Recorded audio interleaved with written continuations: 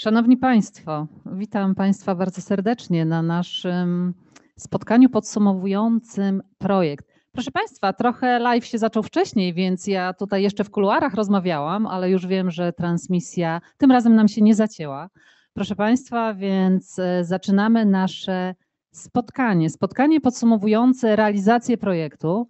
Projektu o bardzo długiej nazwie, więc e, Państwo pozwolicie, że ja tą nazwę odczytam. Dekarbonizacja procesów budowlanych, wprowadzenie materiałów naturalnych o zerowym śladzie węglowym, w tym drewna, do gospodarki obiegu cyrkularnego w budownictwie. Proszę Państwa, projekt o bardzo skomplikowanej nazwie, ale z bardzo ciekawymi efektami. Mm, ja w tej chwili, jeżeli Państwo pozwolicie, mówię do osób, które nas śledzą na Facebooku. Pięknie przywitam wszystkie osoby, które są w Instytucie Ochrony Środowiska, Państwowym Instytucie Badawczym, właśnie na podsumowaniu realizacji naszego projektu. I bardzo chciałam podziękować i przywitać Panie Annę Małek-Zielińską i Panię Izabelę Puczyłowską z Narodowego Funduszu Ochrony Środowiska i Gospodarki Wodnej oraz Panią Joannę Brach i Annę Praszczak z Ministerstwa Klimatu i Środowiska. Ja powiem Państwu i tym, którzy są tutaj w sali w Instytucie Ochrony Środowiska, jak i Państwu, którzy nas śledzą na Facebooku i w naszych mediach społecznościowych, że bez tych pań ten projekt by się nie udał. Proszę Państwa, to jest projekt bardzo wymagający, ale właśnie dzięki wsparciu instytucji zaangażowanych Narodowego Funduszu Ochrony Środowiska i Gospodarki Wodnej, Ministerstwa Klimatu i Środowiska, właśnie taka współpraca pozwoliła, że mimo licznych wezwań projekt jest finalizowany. Proszę Państwa, dzisiaj na naszym spotkaniu podsumowującym e, będziemy starali się przedstawić Państwu wyniki naszego projektu. Ja już nie będę mówiła, jakie są przyczyny, jak jest ważne, aby wchodzić w proces budownictwa naturalnego, że powinniśmy coraz częściej zamieniać budownictwo tradycyjne właśnie na budownictwo naturalne. Coraz częściej powinniśmy wykorzystywać materiały i o tym, czy one się palą, czy nie palą, jak budować, czy warto, opowiedzą nasi goście i nasi e, prelegenci. A proszę Państwa, zaczniemy za chwilę prezentacją wprowadzającą. Ja nazywam się Barbara Rajkowska, reprezentuję Instytut Ochrony Środowiska Państwowy Instytut Badawczy Krajowy Ośrodek Zmian Klimatu i będę miała przyjemność poprowadzenia naszego spotkania. Jako pierwszego serdecznie zapraszam tutaj do nas Daniela Walczaka, który jest kierownikiem projektu, który mierzył się z wyzwaniami, ale i z sukcesami tego projektu. Daniel z Krajowego Ośrodka Zmian Klimatu Instytutu Ochrony Środowiska Państwowego Instytutu Badawczego zapraszam do przedstawienia podsumowania w kilku słowach tego projektu. Dziękuję, dziękuję bardzo za to wprowadzenie. Tam jest drugi mikrofon, jakbyś chciał skorzystać, przenośny również. Tak, ale postaram się może wykorzystać ten, jeżeli dobrze mnie słychać. E, ja też na początek chciałbym podziękować, bo naprawdę ten projekt był wymagający, trwał długo i e, każdy, kto był zaangażowany w pokonywanie problemów e, w trakcie jego realizacji, zasługuje na mm, słowo pochwały, uznania i ja osobiście serdecznie dziękuję wszystkim, którzy e, wzięli w nim udział i e, pomogli dowieść ten projekt do końca, chociaż ten koniec jeszcze, jeszcze jest przed nami, jeszcze chwileczkę. Dobrze, dosyć tych oscarowych podziękowań. Przejdźmy do prezentacji. Ponieważ zaczynam, to na początek trochę E, takich e, spraw statystycznych, czyli liderem był Instytut Ochrony Środowiska, Państwowy Instytut Badawczy, a partnerem Ogólnopolskie Stowarzyszenie Budownictwa Naturalnego. Jeszcze raz jego członkom bardzo dziękuję za wkład ekspercki, za pomysły, za wytrwałość, za wiarę również e, w powodzenie tego projektu. Będziemy później jeszcze o tym mówić na pewno. I no i oczywiście dziękujemy mm, funduszom EOG za 744 951 euro, dzięki którym ten projekt mógł e, w ogóle ruszyć. No dobrze, ale co za te pieniądze udało nam się uzyskać? Uważam i myślę, że możemy to sobie śmiało powiedzieć, że wsparliśmy budownictwo naturalne i gospodarkę obiegu zamkniętego.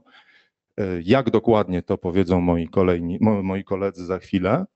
Natomiast najważniejsze jest to, że projekt poszedł bardzo szeroko. Można powiedzieć, że prowadził takie rozpoznanie bojem, e, ponieważ e, zarówno jego efektem są opracowania merytoryczne, zbiory rekomendacji, czyli twarde informacje, jakie, co dalej można robić, są wyniki badań laboratoryjnych, ale mamy też efekty edukacyjne.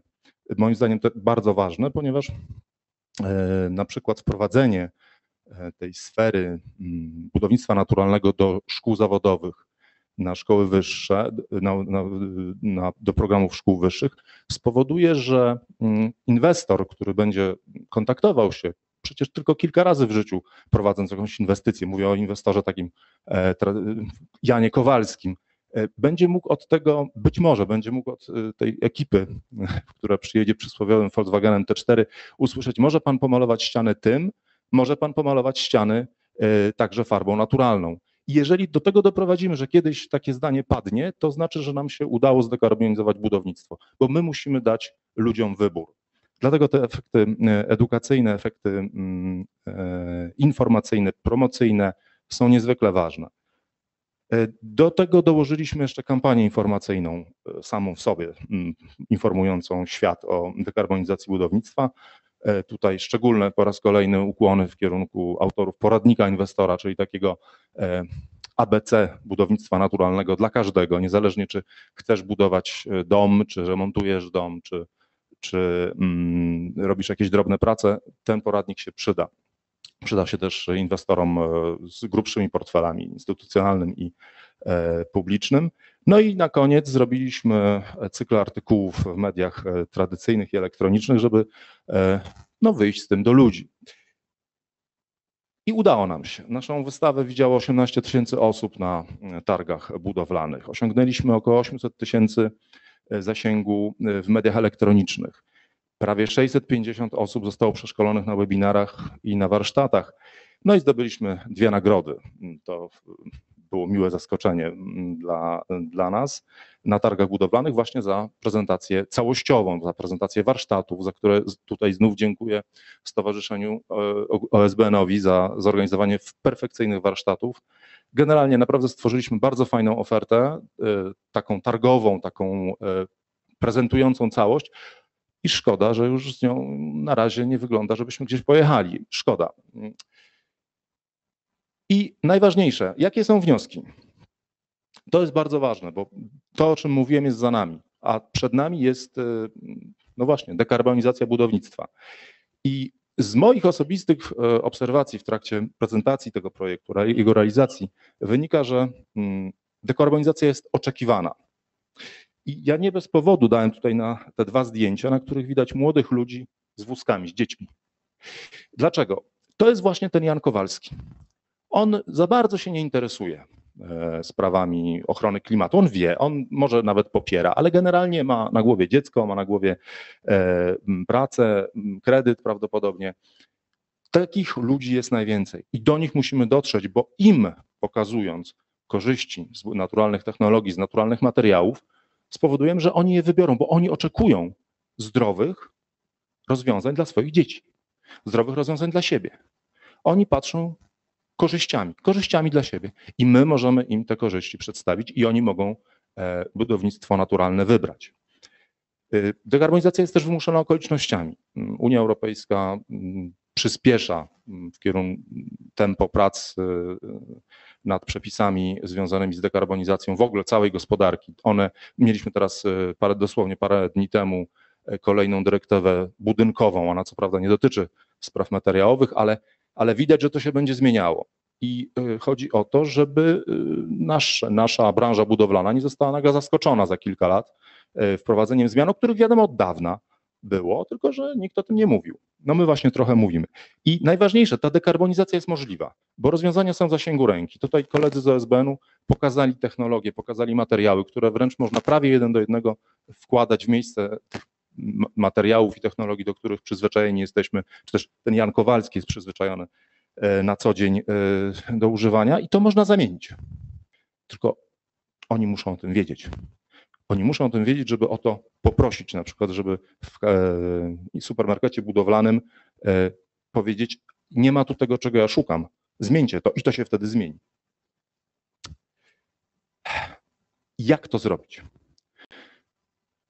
Projekt dekarbonizacja procesów budowlanych, tak jak mówiłem, szedł e, bardzo szeroko, zajmował się wieloma rzeczami. Otworzył taki front y, bardzo szeroki, można powiedzieć, że to było rozpoznanie bojem. żeby pójść dalej, musimy określić, gdzie jesteśmy. Jak, e, jaka jest, jakie jest polskie budownictwo. Potem musimy określić dokładne cele, ale nie cele publicystyczne w rodzaju zdekarbonizujmy budownictwo do roku 2050. W jakich technologiach mamy ją zdekarbonizować, to, zdekarbonizować to budownictwo? W jakich materiałach? O ile procent? W jakiej ścieżce dojścia? Właśnie określenie punktu wyjścia, określenie celów da nam ścieżkę dojścia. A będziemy tę ścieżkę dojścia nadzorować i będziemy systematycznie ewaluować, żebyśmy się po drodze nie pogubili. Ale musimy określić cele i to muszą być cele realne, policzalne, matematyczne wręcz, a nie publicystyczne, bo inaczej osiągniemy publicystyczne cele i dadzą one nam publicystyczne efekty i dalej będziemy tu, gdzie jesteśmy. Z naszych doświadczeń uważam, że można powiedzieć e, o kilku potencjalnych obszarach, które na pewno się znajdą, w, powinny się znaleźć w tych działaniach w następnych projektach, czy w ogóle w działaniach dotyczących dekarbonizacji budownictwa. To jest właśnie opracowanie ścieżki dojścia dla, y, do, do neutralności mm, klimatycznej, do neutralności dla branży budowlanej. Chodzi o wyrównanie szans, o stworzenie jasnych reguł, jak, jak ma się ta branża zmieniać. Ta branża musi dowiedzieć się o tym wcześniej. Tak się powinno to zorganizować y, w sposób y, uczciwy. I druga rzecz, edukacja inwestorów ponieważ jeżeli będą wyedukowani, będą poinformowani inwestorzy indywidualni, komercyjni, e, samorządy, to, to znów e, ci, e, ci klienci wymuszą na dostawcach rozwiązań budownictwo naturalne. Ale to są cały czas, powtarzam, pewne potencjalne działania, które nam przychodzą do głowy po tym projekcie. Żebyśmy dokładnie określili, co należy robić, trzeba, tak jak mówię, określić najpierw stan wyjścia na dziś branży budowlanej, a potem określić cele realne cele i zacząć je realizować. I to z mojej strony wszystko. Mm. Jeszcze raz dziękuję moim kolegom z OSBN. Mm. Wykonaliście świetną robotę, bez Was by to się nie udało. Mam nadzieję, że spotkamy się jeszcze przy kontynuacji. Daniel Walczak, proszę Państwa. Krajowy Ośrodek Zmian Klimatu, Instytut Ochrony Środowiska, Państwowy Instytut Badawczy, kierownik projektu. I proszę Państwa, tak jak Daniel e, na początku mówił, że bardzo dużo wyzwań jeszcze jest przed nami, że oczywiście ten projekt dał już bardzo ciekawe efekty, których nie powinno się zostawiać, przerywać, już zaczął mówić o kontynuacji, więc myślę, że warto będzie pomyśleć, jak to, co zostało wypracowane w ramach tego efektu, mogłoby być propagowane dalej, można wykorzystać do edukacji i rozwijać, bo to, o czym też Daniel nie powiedział, proszę Państwa, ale na e, tych naszych targach, warsztatach bardzo często pojawiały się osoby i mówiłem, hmm, ja nie wiedziałem, że tą ścianę da się tak z tych konopi tam, że to tak się wiąże i że tak szybko da się zbudować, a ja nie sądziłem, że ten tynk jest taki przyjazny i że mogę sobie tu e, w takiej e, strukturze i w takim kolorze, a i farby i, i, i te głosy właśnie osób uczestniczących w warsztatach, uczestniczących na targach pokazywały, jak potrzebna jest tego typu edukacja, jak jeszcze nie wiemy, że możemy pójść w zupełnie inną stronę z budownictwem, że to budownictwo oddycha, że jest dużo zdrowsze, jest zdrowe dla nas, dla naszych dzieci, dla naszych rodzin. Jak przychodziły osoby i mówiły, o kupiłem drewniany dom i teraz nie chcę go cieplać steropianem, czy mogę to zrobić słomą, czy mogę to zrobić innym materiałem, który będzie naturalny i takich informacji edukacyjnych brakuje. Więc proszę Państwa, w tej chwili między innymi o tych efektach edukacyjnych i o poradniku inwestora, który pomoże e, osobom zainteresowanym, tym, które już coś wiedzą, ale też tym, które będą chciały się dowiedzieć. E, pomoże zrozumieć, jak można przeprowadzić proces, z czego można skorzystać. Więc jako pierwszą e, poproszę reprezentantkę Ogólnopolskiego Stowarzyszenia Budownictwa Naturalnego, bo teraz proszę Państwa już będą prezentacje właśnie przedstawiane przez e, przedstawicieli reprezentantów tego stowarzyszenia. Zapraszam panią Annę Zawadzką-Sobieraj, która właśnie opowie, przedstawi poradnik inwestora, który państwo będziecie mogli pobrać ze strony projektu.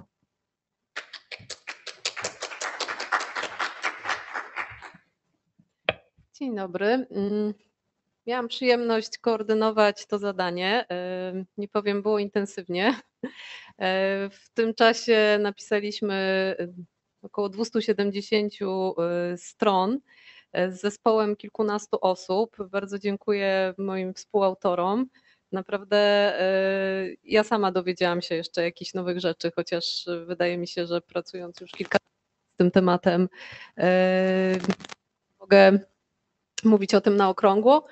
Natomiast e, udało nam się, myślę, zrobić. Czy coś mam zrobić z tym mikrofonem? O. Lepiej? Tak, chyba lepiej.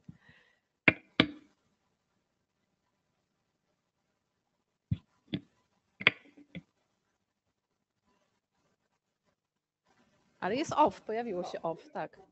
Udało nam się e, przygotować dość obszerne kompendium wiedzy, które odpowiada na wiele potencjalnych pytań inwestorów.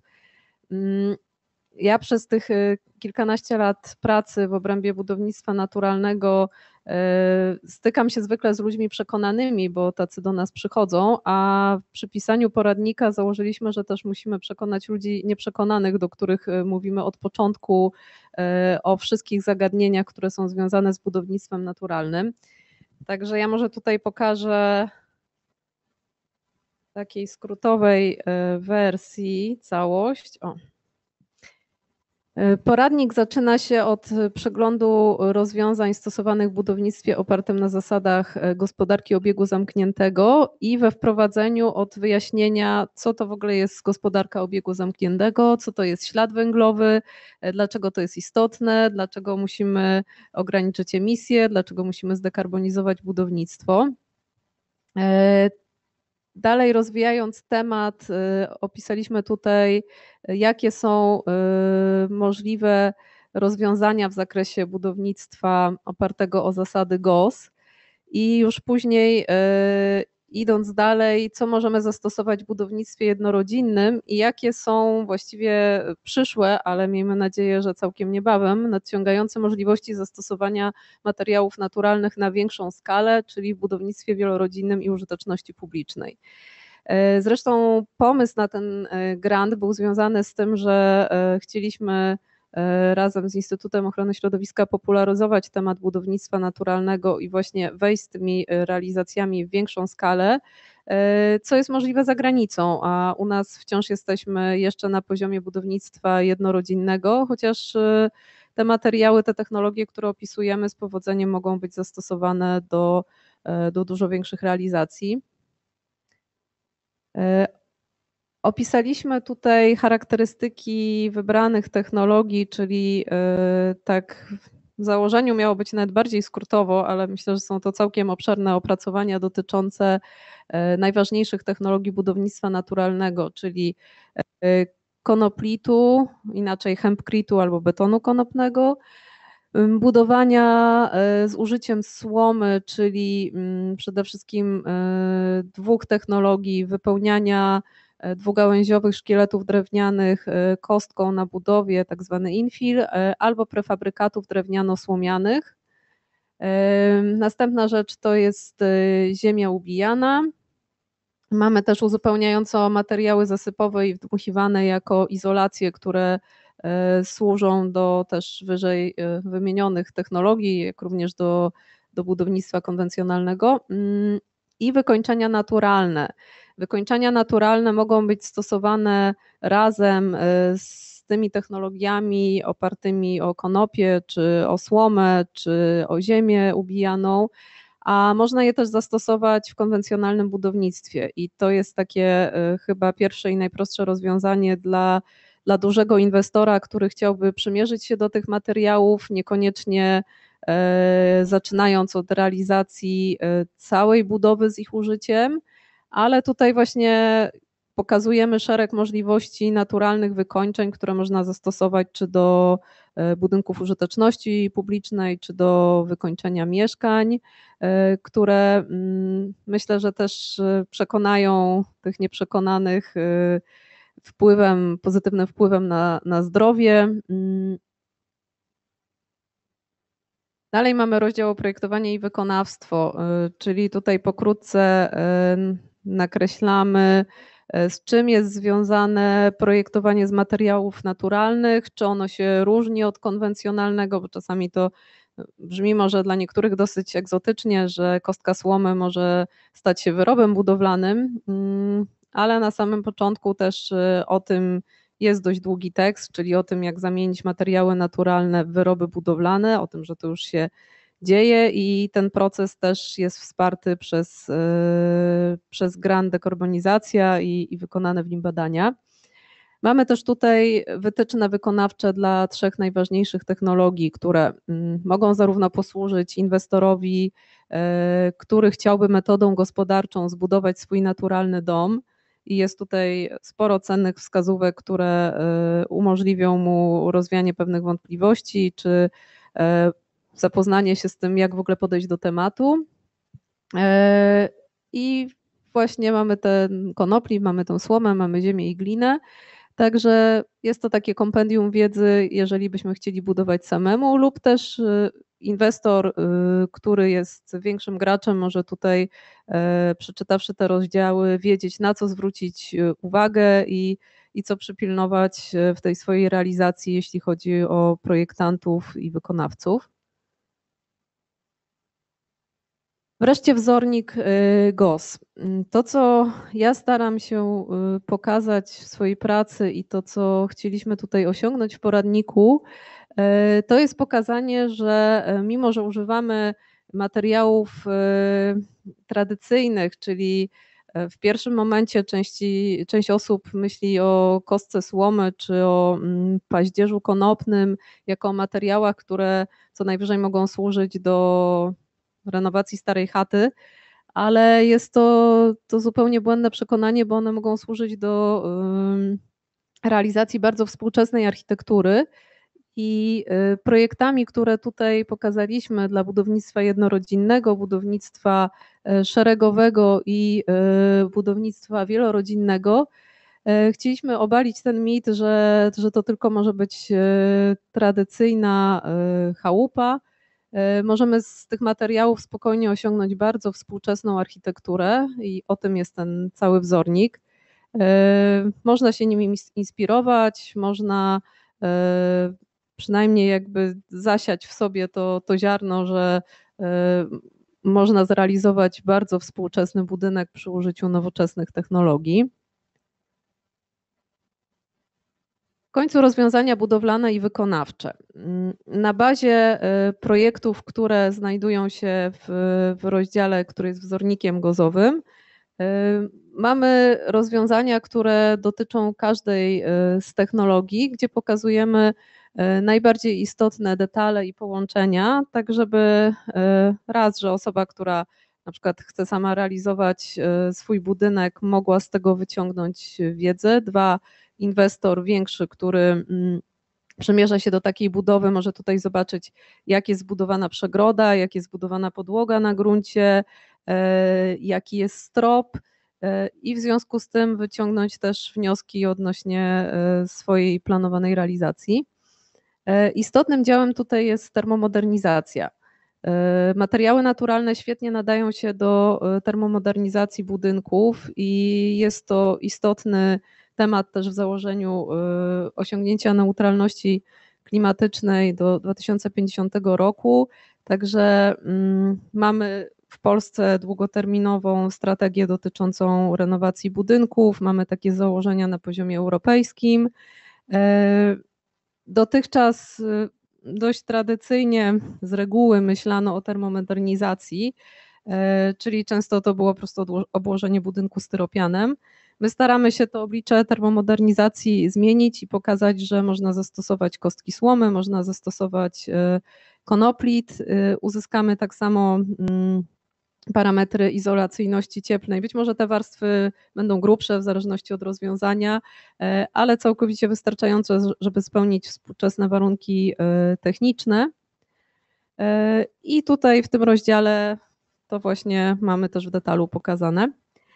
Na koniec są przykłady realizacji z wykorzystaniem naturalnych technologii. E, tutaj akurat widać osiedle budynków y, wielorodzinnych w Anglii. E, właśnie coś takiego też chcielibyśmy mm, móc zacząć my, architekci, projektować, a wykonawcy e, z obszaru budownictwa naturalnego budować w Polsce. Tych przykładów tutaj jest, jeśli dobrze pamiętam, 26. Są zarówno budynki jednorodzinne, wielorodzinne, użyteczność publiczna, wnętrza Niestety wszystkie projekty większe niż budynki jednorodzinne, y, te wszystkie przykłady pochodzą z innych krajów Europy, y, głównie Francja i Niemcy. Ale mamy nadzieję, że któregoś dnia wyjdzie wersja 2.0 poradnika i już będziemy chwalić się polskimi realizacjami też na taką skalę. Tak jak e, było wspomniane, my też myślimy o wersji 2.0 już, bo tak apetyt rośnie w miarę jedzenia i, i, chętnie byśmy też e, pewnie z czasem przygotowali takie poradniki dla projektantów czy, czy dla wykonawców, bo to, to też są obszary, w których należy tę wiedzę e, szerzyć. Na razie zaczęliśmy od inwestorów, bo jeżeli pojawią się inwestorzy, którzy będą chcieli budować naturalnie, to tym bardziej ten rynek będzie miał szansę się rozwinąć i będzie potrzeba, żeby e, nas, projektantów czy, czy wykonawców było znacznie więcej. Dziękuję. To, to tyle z mojej strony. Zachęcam do czytania. Poradnik znajduje się na stronie dekarbonizacji. Mm, tak jak mówię, jest obszerny, więc jest to lektura na wiele wieczorów, ale polecam z mojej strony. Proszę jeszcze zostać Pani Anno, bo e, Pani tak świetnie powiedziała, że e, można wykorzystać ten poradnik i te metody do termomodernizacji przede wszystkim. Bardzo dużo się mówi o termomodernizacji, więc ja mam takie trochę zaczepne pytanie. E, bo czasami mamy sytuację taką, że nie możemy nic absolutnie zrobić na zewnątrz. E, cokolwiek robimy, musimy zrobić to wewnątrz naszego mieszkania czy wewnątrz naszego budynku. Czy osoba zainteresowana, bo też dużo słyszała na przykład, że to poprawia komfort, termikę, e, możliwości oddychania. Czy jeżeli osoba zainteresowana nie może nic zrobić na zewnątrz, ale musi wszystko zrobić wewnątrz swojego mieszkania czy budynku, czy może wykorzystać, skorzystać z tego, podręcznika, z tego poradnika i wykorzystać metody, technologie, które tu są opisywane. Jak najbardziej. Jest też pokazana tutaj e, możliwość docieplenia e, od wewnątrz, e, także są, są detale, są rysunki przegród. Z punktu widzenia fizyki budowli mm, lepiej jest ocieplać od zewnątrz, ale mm, ta sytuacja, kiedy nie mamy takiej możliwości, czyli na przykład mamy budynek e, zabytkowy i nie możemy, czy nie chcemy zmienić e, jego dostajemy proporcji. często zgody. Nie nawet. dostajemy zgody, ale też no, słusznie nie dostajemy tej zgody, bo, bo detal architektoniczny jest na przykład tą wartością zabytkową i, i jakby jedyna możliwość jest taka, żeby zrealizować to od wewnątrz, czy po prostu sami nie chcemy zmieniać tej elewacji. E, jest to jak najbardziej rozwiązanie, które jest do zastosowania. E, mówię z punktu widzenia fizyki budowli trudniejsze, dlatego tym bardziej istotne, żeby było ono dobrze zrobione, e, przeanalizowane pod kątem cieplno-wilgotnościowym. Takie analizy tutaj robiliśmy w projekcie i właśnie dwie ścieżki pokazujemy i od zewnątrz, i od wewnątrz. To jeszcze jedno zaczepne pytanie, bo proszę Państwa, przecież malujemy, odnawiamy co chwilę nasze mieszkania czy my możemy łączyć, wykorzystując na przykład, przebudowałam coś, jakąś drobną ścianę, czy mogę mieć tynki naturalne, pomimo, że do tej pory nie było naturalnych, i czy malując, odnawiając po prostu swoje mieszkanie, mogę teraz zacząć korzystać e, z tych bardziej naturalnych farb chociażby. Czy takie łączenia też są możliwe i czy ten poradnik o tym mówi? Takie łączenia są możliwe i y, są jak najbardziej pożądane, dlatego że wielu inwestorów, no, tak jak mówiłam, nie wejdzie w jakąś budowę, y, która będzie w 100% naturalna, bo na przykład potrzebuje y, tylko wykończeń albo potrzebuje y, tylko na start jakiejś próby w obszarze budownictwa naturalnego, ale nie decyzji, że jest to cała technologia. E, I tutaj budownictwo naturalne oferuje szeroką gamę możliwości. Jest właśnie cały rozdział o tym wykończenia naturalne, chyba ze 30 stron do poczytania razem z przykładami. I zarówno tynki gliniane, jak i e, tadelakt czy farby gliniane są to rozwiązania, które możemy zastosować e, na różnego typu ściany, czyli mogą być to i jakieś istniejące tynki cementowo-wapienne, czy mogą być to e, ściany z cegły, czy może być to gipskarton. Ja sama w moim mieszkaniu położyłam e, z mężem tynki gliniane na wszystkie chyba możliwe warstwy, które tam istniały. Jest to stare mieszkanie w kamienicy, także jest to rozwiązanie do, do wszystkich tego typu sytuacji również. Bardzo dziękuję, proszę Państwa. To była Anna Zawadzka-Sobieraj, poradnik inwestora. I proszę Państwa, ja zachęcam do tego, że planujecie remont, może warto już sko- skorzystać z materiałów naturalnych i nasze mieszkanie zacznie lepiej oddychać. Ale proszę Państwa, kontynuując, ja teraz e, zaproszę dwie osoby, e, panią Martę Krawcewicz i pana Cezarego Czemplika, którzy trochę powiedzą o jakości, kategoriach jakości dla surowców, trochę o modelu wyliczeń e, dwutlenków cyklu życia produktów. Będą e, rozmawiali wspólnie, przeplatając się trochę i przekazując e, dalsze informacje o wynikach naszego projektu. Jeden mikrofon tam. Dziękuję bardzo. Już chcesz mi zabrać. Dziękuję bardzo. Y, Tak, już tyle wspólnie przeszliśmy w tym projekcie, że myślę, że to będzie takie dobry, ym, dobre zakończenie. Y, Ja realizowałam trzy zadania w tym projekcie. Będziemy mówić tutaj y, dużo o jednym, ym, o, mo- może uda się wspomnieć o innych. To, z czym bardzo się zmagaliśmy, gdzie były duże wyzwania i gdzie dużo się działo, to było liczenie śladu węglowego. Umiem- umiem. Tak, dlaczego to w ogóle jest dla nas taki ważny temat i temat, na którym tutaj możemy dużo ym, ugrać sobie, dlatego że jesteśmy w takim punkcie w ogóle w tej chwili jako Polska, jako świat, y, gdzie to jest bardzo ważne, gdzie już przestajemy myśleć tym trochę mam nadzieję, że wchodzimy, już wychodzimy w ten, z tego antropocenu i wchodzimy w symbiocen, gdzie, z, gdzie my jesteśmy częścią tego systemu. Nie jesteśmy człowiekiem, który tutaj rządzi w tym świecie i, i teraz robimy wszystko tak, jak podporządkowujemy się y, sobie wszystkie istoty na, na, na Ziemi, tylko też staramy się dać od siebie y, i też staramy się zrównoważyć nasze działania i naprawdę ten moment jest myślę, że kluczowy i tak jak już mówiłam o- ostatnio, dawno, dawno temu powinniśmy zacząć to robić, ale jeżeli jeszcze tego nie zaczęliśmy, to róbmy to teraz. I właśnie budownictwo naturalne jest odpowiedzią, tak jak, tak jak różne style, y, y, wpisuje się bardzo dobrze w styl życia, który, to, których coraz więcej osób z nas chce żyć takim stylem życia.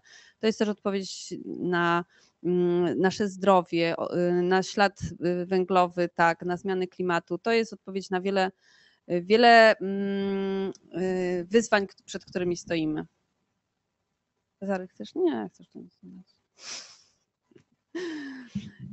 Ograniczenie śladu węglowego to jest, to jest wyzwanie, z którym się mierzymy najbardziej, ponieważ już w tej chwili wiemy i mam nadzieję, że tu, tutaj, tak jak, y, tak jak ludzie w kościele nie muszą być przekonywani, tutaj też Państwa nie muszę do tego przekonywać, e, że musimy się z tym zmierzyć.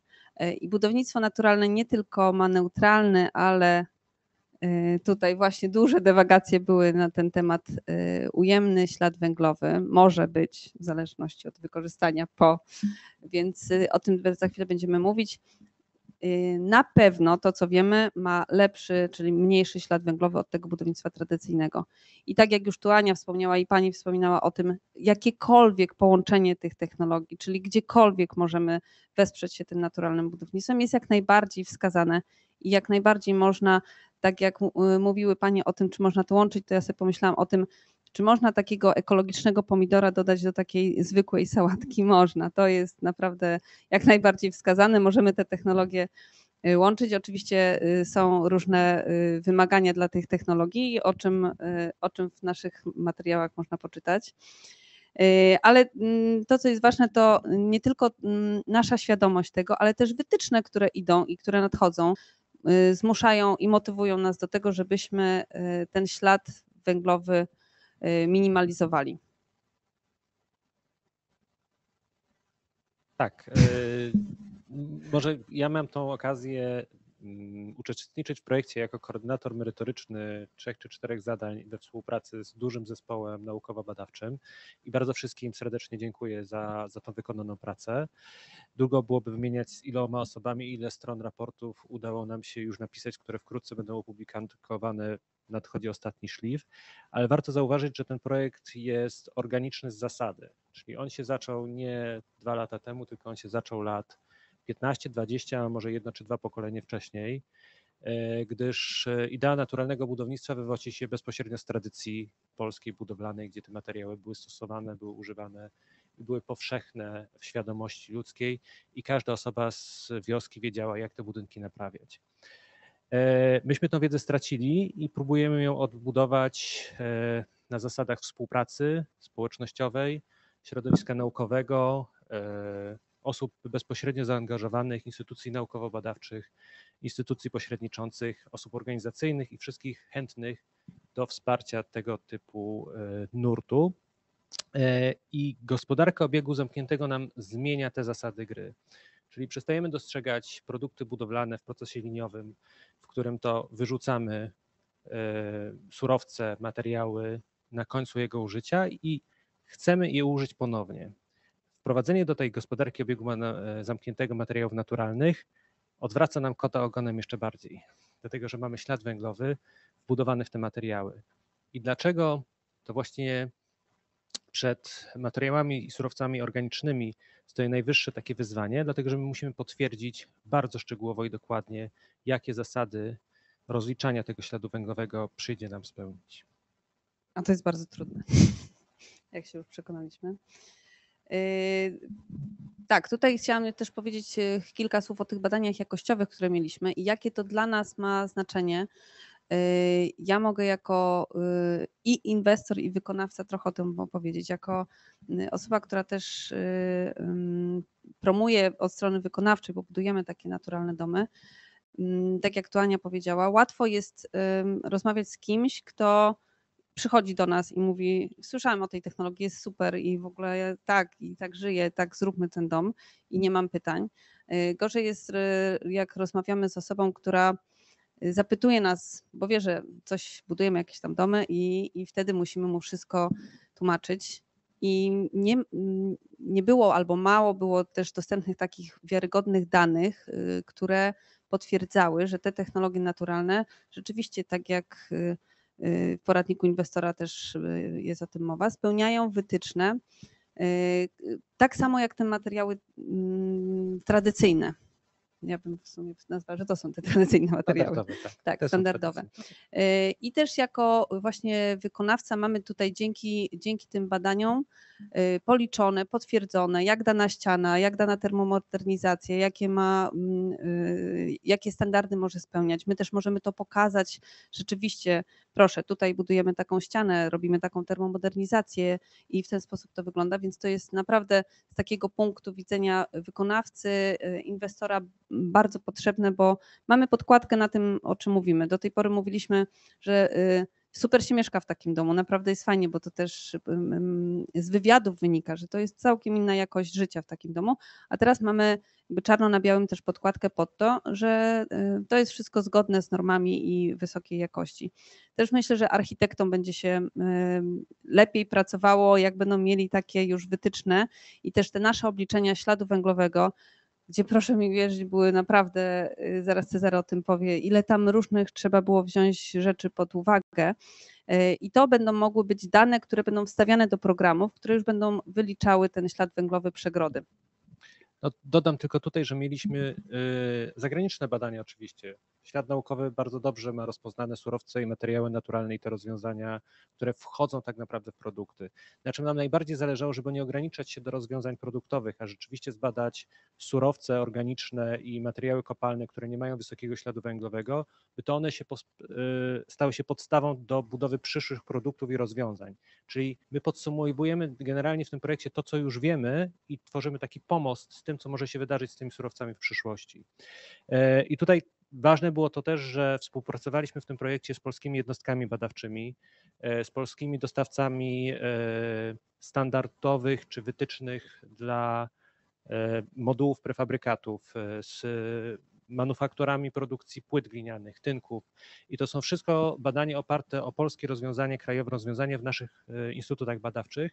W związku z tym przetali, przetarliśmy też tą ścieżkę naukowo-badawczą i zmierzyliśmy się z pewnymi wyzwaniami na tej drodze. A wyzwania były, bo jak mówiłam, y, y, to, mówiłam, że przyjedzie cegła gliniana, to nikt nie wiedział, czego tam się może spodziewać i czy to wygląda tak, czy tak, więc y, naprawdę przetarliśmy te ścieżki. Zalecenia i wnioski, to może powiem, y, to może Cezary powie, bo to y, Cezarego konik tutaj jest. E, Jakie są zalecenia do tych kategorii takich jakościowych i liczenia śladu węglowego? Przede wszystkim e, te materiały muszą być określane w konkretnych ramach czasowych. E, Mamy tutaj system e, certyfikacji EPD, który określa nam ten czas na 100 lat, a my wiemy, że te materiały jednak mają krótszy okres czasowy. Nawet drewno ma 75 lat CLT w tych badaniach. W związku z czym, czy my ignorujemy jak gdyby te materiały naturalne jako te łatwopalne nadal, które nie są trwałe, czy będziemy wykorzystywać ten e, potencjał magazynowania śladu węglowego w nich. E, Wydaje się, że mm, manufaktury budowlane, architekci i wykonawcy potrzebują bezpośredniego wsparcia do wdrożenia tych materiałów na rynek. E, Bardzo często startują oni od strony organicznej z małych manufaktur, z zespołów dwu, trzyosobowych, stawiających pojedyncze realizacje, ale mamy tu przykłady i doświadczenia, że w szybkim tempie potrafią rosnąć do zespołów stawiających domy prefabrykowane, e, stawiających na wysoką jakość wykonawstwa. E, I mam nadzieję, że jako stowarzyszenie będziemy kontynuować tą drogę w określaniu wytycznych i standardów w tym, w tym, e, w tym, w tym względzie, ale potrzebujemy też takiego bezpośredniego wsparcia dużego rynku, liderów e, i tak zwanych grubych ryb, którzy, które pociągną tak naprawdę ten temat, e, e, no, tak jak to się stało z budownictwem drewnianym, czy e, z takim hasłem pod tytułem Nowoczesna Stodoła, która w tej chwili jest najbardziej trendy hasłem e, na, na rynku architektonicznym i najbardziej trendy rozwiązaniem od, od strony stylistycznej. Także musimy też pamiętać, że od strony stylistycznej musimy się wyróżniać, e, od strony ideowej pamiętać o zasadach, e, no i kontynuować ten rozwój.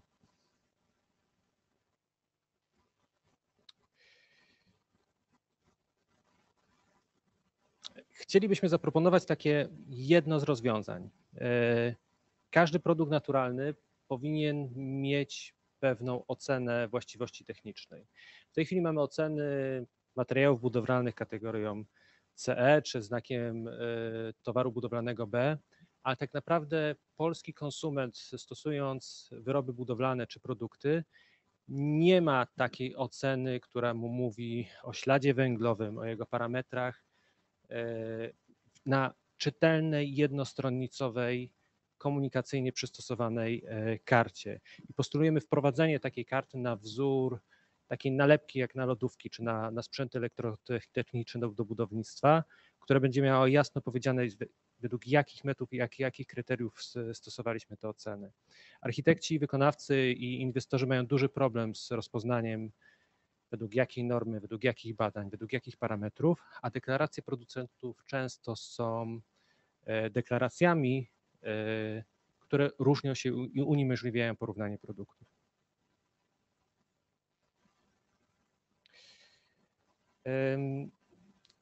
Co nam to da?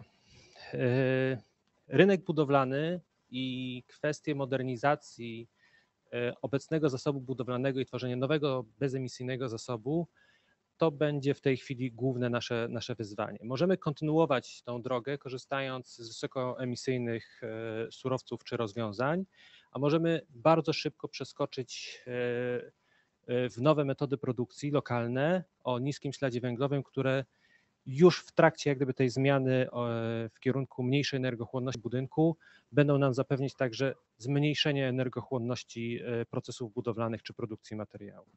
Także to chyba jest największe wyzwanie takie, które przed nami czeka. Tak, na zakończenie jeszcze chciałam.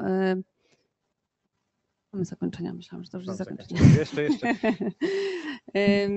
Tak, y, to y, o czym y, cały czas mówimy i OSBN mówi o tym od dawna i to, gdzie, gdzie we wszystkich naszych materiałach to się przewija i pojawia i w każdym możliwym miejscu, to są te zalety surowców naturalnych i mm, my stworzyliśmy bardzo, bardzo dużą bazę naprawdę przydatnych materiałów.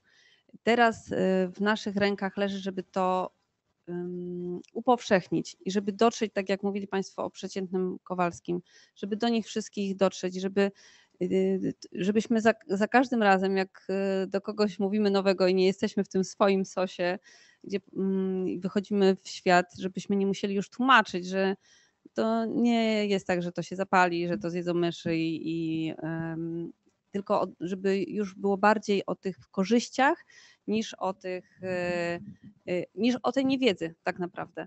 Więc e, to, to jest dla nas bardzo ważne, żeby nie, um, nie skończyć w tym momencie, tylko odbijając się od tych rezultatów, żeby one były tylko wyskocznią, żeby one były tylko taką dźwignią do tego, żeby dużo się zmieniło. Tu mi migasz innymi slajdami. Tak, tak, tak migam, że opracowaliśmy propozycje e, i ocenę tych e, rozwiązań pod względem surowcowym. E, Opracowaliśmy rozwiązania przegród dla wraz z liczeniem śladu węglowego, ale najważniejsze jest to, żeby w tym całym cyklu te dekarbonizacja czy obieg zamknięty był traktowany jako idea, którą musimy przekazać kolejnym pokoleniom, bo to nie my będziemy rozbierać te budynki, tylko za dwa, trzy, cztery pokolenia osoby się spotkają z tym i będą sprawdzać, z czego dokładnie te, ten budynek został zło- y, zrobiony. Czy on może ulec kompostowaniu, czy on może wrócić na pole, czy on bezpiecznie może zostać zutylizowany. Rozwiązania naturalne, niezanieczyszczone innymi e, materiałami, mają taki potencjał. Oczywiście mają też potencjał do wykorzystania jako paliwo bioenergetyczne, w związku z czym pytanie, czy te materiały naturalne są rzeczywiście na, na takie, tak, takie neutralne klimatycznie. To jest taki podstawowy zarzut. E, I to można powiedzieć, że wszystko zależy. Wszystko zależy, co zrobimy z tym materiałem na końcu. Nie my to będziemy robić, będą to robić nasze wnuki. E, W związku z czym do tego naszego procesu, do którego się przyzwyczailiśmy, czyli obiegu zamkniętego standardowych surowców, my musimy dodać obieg nat, nat, naturalny, czyli drugi obieg, e, który będzie zapewniał ten bliższy przyrodzie obiekt surowców czy energii, czy wykorzystania tego potencjału nawożenia, potencjału akumulacji węgla, czy potencjału lokalnego zagospodarowania tych e, produktów. E, I najważniejszą taką cechą, którą warto zapamiętać z tego, z tego spotkania, że, rozwiązania organiczne, drewno, rośliny jednoroczne mają potencjał sekwestracji węgla w, w tych produktach i zatrzymania go na 50-100, a może na dłużej. E, I to wszystko zależy. W tej chwili będzie to dla Państwa nieczytelne, ale powiem Państwu, że za 5 czy 10 lat, tak jak też teraz liczymy ślad węglowy operacyjny, tego typu rozważania dotyczące szczegółowej analizy y, wszystkich procesów, w jakich są tworzone produkty i wyroby budowlane i jego zagospodarowania będzie kluczowym elementem procesu dekarbonizacji. Dziękuję. Dziękuję bardzo. Ja bym prosiła, żebyście jeszcze zostali, bo ja oczywiście mam znowu zaczepne pytanie, żeby nie było tak lekko, no bo kilka badań, dobrze, kilka tutaj podpowiedzi, dobrze, ale teraz, no powiedzmy, że po tej naszej, może niekoniecznie Państwo, którzy nas oglądają, ale tutaj na sali uznajmy, że połowa osób to jest nieprzekonanych, niezdecydowanych, mówiących, co Wy to mówicie, dlaczego mam zastosować tą technologię. Nie widzę tutaj uzasadnienia dla akumulacji dwutlenku węgla, nie widzę uzasadnienia dla ochrony klimatu, nie widzę. Przekonajcie mnie w kilku zdaniach, co byście powiedzieli. Dlaczego warto budować naturalnie? Dlaczego warto skorzystać z tych technologii? Dlaczego warto skorzystać z podręcznika przygotowanego i tych materiałów informujących o tym? Robiliśmy takie badania, takie mamy wyniki, to są potwierdzenia naukowe, to nie są nasze wymysły. Dlaczego? Spróbujcie przekonać w kilku zdaniach osoby, które mówią nie, nie wierzę w to. Bo czasami tak się zdarza, że ktoś mówi nie, bo nie. To co byście powiedzieli? Przede wszystkim to nie jest religia, żeby w to wierzyć. To są po prostu fakty, że tak jest. I przeważnie sprawdzam, z kim rozmawiam. Jeżeli jest to osoba mojego pokroju, czyli na przykład matka trójki dzieci, to mówię o walorach zdrowotnych takiego budynku i o tym, że nie. E, I w, w, tym, e, w tym projekcie też e, starałam się, sprawdzałam, porównywałam inne technologie. Rozmawiałam na przykład z wykonawcą pianki PUR, gdzie żeby ocieplić, pan mi mówił, dobrze, przez dwa dni nie wolno tam w ogóle wchodzić. No to ja nie chcę żyć w takim domu, gdzie ja nie mogę wchodzić dwa dni, bo się mogę zatruć i to nie wierzę, że po dwóch dniach jest koniec tam się nic nie dzieje. Więc wtedy mówię o tych wartościach zdrowotnych, jaki ma taki budynek. Y, Mówię o ekologicznych. Trudno, y, naprawdę trudno y, już znaleźć osobę, która nie ma takiej świadomości ekologicznej i która y, albo nie ma tego mm, gdzieś z tyłu głowy, bo tak naprawdę to tak jak była, był podręcznik, książka Naomi Klein, to zmienia wszystko. Jak my się już o tym dowiemy i weźmiemy to sobie do serca, to naprawdę wszystko A ja powiem, że znajdą się osoby, które jeszcze nie do końca są przekonane w tym, że trzeba ekologicznie, powiedzą to nie mój interes, ja chcę mieć fajny samochód, drugą komórkę i wygodnie mieszkać, a nie w czymś, co tam będzie miało słomę, bo ta słoma to mi się źle kojarzy. No to Jest wygodnie i, i może być bardzo ładnie, to wtedy bym pokazywała takie zdjęcia naprawdę super, y, tak jak są w poradniku, y, gdzie y, to nie wiem też czemu to się kojarzy z takim niskim standardem. Może właśnie to, że to jest nie wiem, słoma, konopia, ale to może być naprawdę wysoki standard. Wszystko zależy od portfela. Jeżeli chcesz jeździć dobrym samochodem mieszkać w takim domu, możemy zrobić naprawdę wysoki standard. To, to, mm, to właśnie ten, chciałabym, żeby ten projekt to pokazywał, że to nie są chatki y, na y, kurzej łapce ze Czyli musimy trochę odczarować po prostu Tak, za, ta, za tym projektem, czy za takimi projektami powinna iść ta edukacja odczarowująca to spojrzenie na budownictwo naturalne. To jest tylko kwestia tego, co masz wewnątrz ściany. No, nie ma to zbytnio znaczenia dla naszego y, y, luksusu, czy tam jest w środku styropian czy słoma, a dla naszego, dla świata i dla naszego zdrowia i dla dwutlenku węgla ma to już znaczenie. Właśnie pytanie do Cezarego, bo jeżeli ktoś e, jest przekonany, ale mówi jeszcze pokaż mi te dowody, bo ja chcę bardziej namacalnie wiedzieć, ok, jest to ekologiczne, przekonałem się do tego, widzę, że może być e, fajnie zbudowane wewnątrz i na zewnątrz, czyli ta architektura i cała struktura mi wszystko odpowiada, ale jak ty mi potwierdzisz, czy na pewno te wszystkie badania to były tak zrobione e, rzetelnie, czy one rzeczywiście nam pokazują, że tak to się dzieje? No, Świat naukowy powie, no nie odpowiem na to pytanie, bo to zależy. E, I, I rzeczywiście jest taka tendencja, żeby dużo rzeczy bardzo szczegółowo analizować i surowce naturalne mają tą tendencję, że mają zmienne właściwości, czyli glina kopana w różnych miejscach będzie miała za każdym razem troszeczkę inne tendencje. Czyli jeżeli ktoś powie, że tutaj się budowało tak, a tutaj trochę inaczej, to nie będzie wynikało z tego, że były źle zrobione badania, czy jest nie taki poradnik inwestora, tylko po prostu mamy inny materiał wyjściowy. Tak, tak, tak. No i współczesne budownictwo ma duży problem z akceptacją tego, że ten parametr nie będzie zawsze do piątego miejsca po przecinka e, się zgadzał, że to wszystko e, może nie zależy, ale wymaga bardzo dużej dbałości o e, podążanie tymi standardami, o zrozumienie tego, w jaki sposób się układa tą słomę, jaka jest technologia tej, jej wykonania, w jaki sposób jest przygotowana mieszanka tynkarska, kto ją nakłada, jaką praktykę budowlaną ma i y, jaką gwarancję osobistą jak gdyby niesie za, za, za, tymi produktami. Także tutaj y, jest duże wyzwanie budowy środowiska, które się wspiera, które się angażuje, które sprawdza i ciągle wątpi tak naprawdę, e, bo my jesteśmy na początku tej drogi takiej naukowej w, w upowszechnianiu tych materiałów. Jest dużo jeszcze do zdobycia. Bardzo dziękuję. Proszę Państwa, Marta Krawcewicz, Cezary Czemplik. Dziękuję pięknie. No.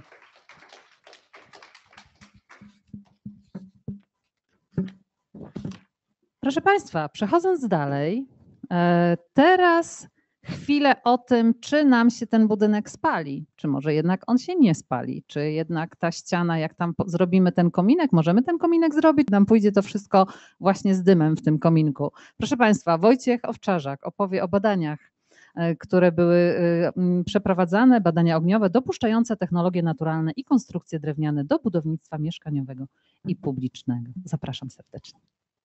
Dzień dobry.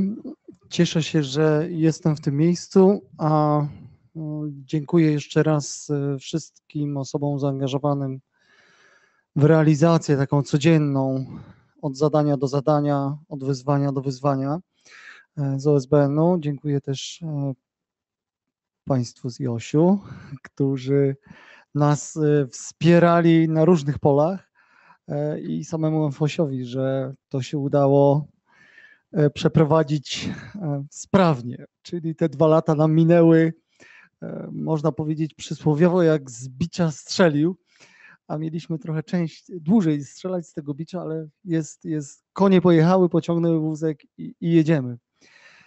I teraz e, ja jestem tutaj przedstawicielem e, Macieja Jagielaka, który dzisiaj nie mógł do nas dojechać z Krakowa ale przekazał prezentację, którą, o której trochę opowiem. przede wszystkim o tym, że e, chcieliśmy właśnie odpowiedzieć na proste pytanie, które będzie zawsze nurtowało inwestora, który słyszał pewną bajkę, że można coś zdmuchnąć, ale jakże w ogóle jest słoma, no to jak można jej nie spalić, bo każdy widział, jak się luźna słoma pali. I drugie pytanie oczywiście jest o myszy, tak? Czyli nie wiem, ta popielowa nasza legenda cały czas jest żywa. Może trzeba będzie zbudować w Kruszwicy jakiś pierwszy budynek, żeby jakąś taką wieżę, może konkurencyjną. I cóż, to badanie, ten projekt pozwolił przeprowadzić badania takich ścian, takich przegród, które są dzisiaj stosowane w zasadzie można powiedzieć w Europie i na świecie w bardzo wysokim standardzie, czyli w bardzo dobrze skompresowanej ścianie, y, bardzo dobrze skompresowanej słomie, która jest skompresowana w ramie drewnianej i ta rama jest otynkowana z jednej i z drugiej strony, czyli od środka tynkami glinianymi bądź płytami glinianymi, tak jak tu widzimy na zdjęciu, i potem otynkowana jeszcze tynkiem, a od zewnątrz jest specjalna płyta izolująca, e, która też jest otynkowana, ale od zewnątrz e, tynkiem wapiennym.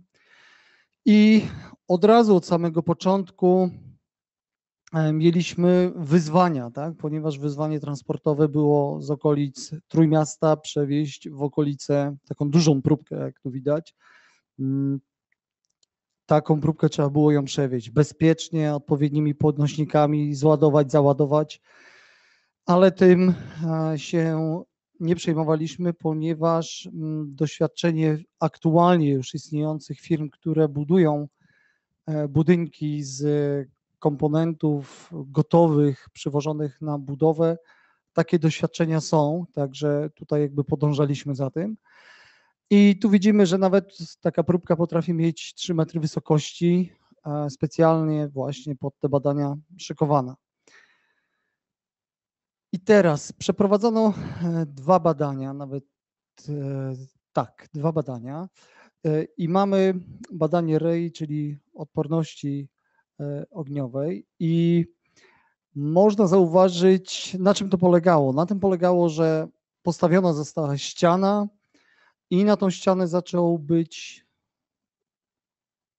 zaczął napierać, zaczął napierać ogień, czyli zaczęła ona być palona.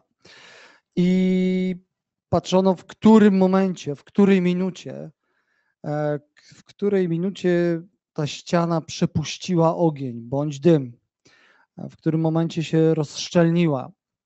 I dla tego badania dosłownie, ponieważ mamy tutaj tak zwany wskaźnik REI, I teraz, e, dlaczego to zrobiliśmy? E, przede wszystkim chcieliśmy pokazać w Polsce, ponieważ w Europie było już to pokazane, że badania wykonane to przy tym REI 90 i 120 to pokazuje, w którym momencie ta ściana zaczyna już z tym ogniem, nie może dalej walczyć, czyli tu mamy REI 90, to znaczy, że mamy 90 minut E, na to, że ten ogień przejdzie przez tą przegrodę, bądź 120.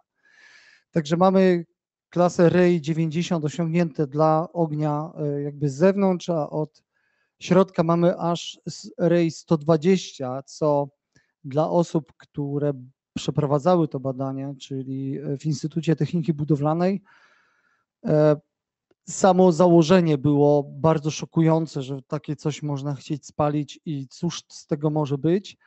Podczas badania y, oczy otwierały się coraz szerzej i tak naprawdę to REI 90 brakło dosłownie kilku minut, żeby to REI przeszło na pułap 120. Y, także to jest, bo co z tym zrobić? To będziemy chcieli po prostu pokazywać jako coś, co jest niezbitym dowodem, ponieważ potrzebowaliśmy takiego miejsca, w którym w certyfikowanym laboratorium stworzymy przegrodę, która składa się z zasadniczych elementów, czyli mm, szkieletu drewnianego z wypełnieniem kostką słomy, z odpowiednio skompresowaną oczywiście i obłożoną z dwóch stron materiałami również naturalnymi. I to trzeba będzie pokazywać właśnie po to, żeby podnosić tą, e, tą świadomość i będzie można nie mieć niezbite dowody, że tak, tak jest, tak było. I będzie raport, będą zdjęcia, będą filmy, także to jest bardzo, e, ale to bardzo ważne. E, Mamy drugie badanie klasy reakcji na ogień, tak zwanej euroklasy. Mm, Konoplit, mm, czyli tu już wymieniany chemkrit czy beton konopny, czyli paździerz, mm, paździerz konopna zmieszana z wapnem, uzyskała bardzo wysoką klasę B. E, Słomiana ściana e, klasę E. E, Konoplit jako materiał, który zdobywa, jeszcze jest mniej znany wśród inwestorów, a potem wykonawców, jest jeszcze bardziej rzadkim jakby materiałem. E, Konoplit jako taki uzyskuje bardzo dobre wyniki i to znowu są kolejne możliwości, bo ktoś może się bać tej słomy, ale e, jeżeli mamy w tym momencie dla niego alternatywę, tak, czyli mamy beton konopny, który jest e, równie dobrze może zastępować jakby ten, e, tą ścianę związaną, y, tą, tą ścianę słomianą. E, Także dla nas to był e, znowu po raz kolejny niezbity dowód na to, że to się nie pali. I pójdźmy dalej. Badania stopnia rozprzestrzeniania ognia NRO. I tu y, było dla nas y, zaskoczenie, ale ono wynikało z tego, że no, badaliśmy, no, nie do końca wiedzieliśmy, w jaki sposób się to e, i jak to się zachowa ta cała przegroda. E, Słoma z elewacją drewnianą to było troszeczkę, bo NRO to jest nierozprzestrzenianie się ognia. Troszeczkę inaczej ten ogień był zaaplikowany na ścianę i trochę była inna ściana. E, Ściana była z tak zwanym elewacją drewnianą, która która e, jakby była od zewnątrz zamiast tynku wapiennego, była płyta i elewacja, e, płyta izolacyjna i na słomie i potem jeszcze elewacja drewniana.